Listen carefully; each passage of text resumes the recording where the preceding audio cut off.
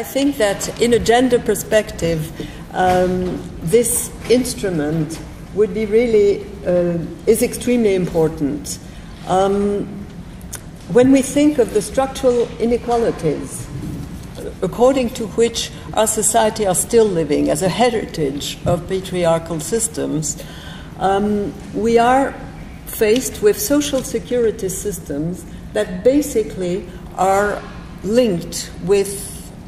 work and with the model of the male breadwinner who is always active from the beginning of his career to the end, never stops, doesn't take paternity leave, whatever, and works full time. So, where does that leave women? Women who are taking care of children, taking care of sick people, dependents, etc. It means that their lifestyle is not considered properly or was not considered properly in the social security systems. Of course, many countries have tried to overcome this male bias, but we're still not at a stage where uh, we have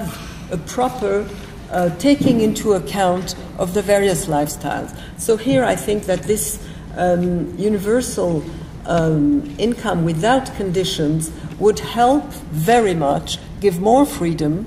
give women the choice either to stay at home, to reduce their workload if they're working, or to increasing it by paying somebody else to take care for their children, and it would give men the possibility of reducing their activity as the 100% male um, breadwinner and uh, get involved into their families or do other things that they want to do and have more. So it would be an increase, as you said, Guy, more freedom for all. And I also think that when we think of um, specifically marginalized populations, uh, this system would reduce the stigmatization that is provoked by poverty and by the dependence either on somebody else for your survival or on a welfare state that very often criminalizes or treats as criminals the recipients of aid by many controls and by prying into their private sphere and the way they organize their lives. So here I really think that uh, um, the universal um, basic income would very much help all efforts for gender equality and non discrimination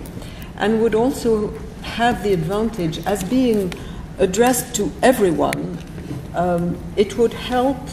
as a general entitlement to get out of the trap where gender equality efforts very often fall, that is, singling out women and putting them with all other vulnerable groups and being considered as a minority that needs help and protection and not like equal citizens with the same rights, with the same abilities as men, the normal citizens. So we would move on, I think, and here there is a transformative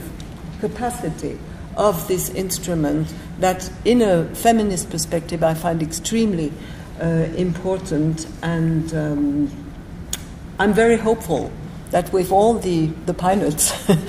uh, going on, we will move progressively to more and more countries adopting this model, and I really think that this is one way that gender equality could also be a central element of the conversation of on what kind of system, what kind of world do we want to live in, what kind of society do we want to live in, with which rights for men, women, children. Thank you.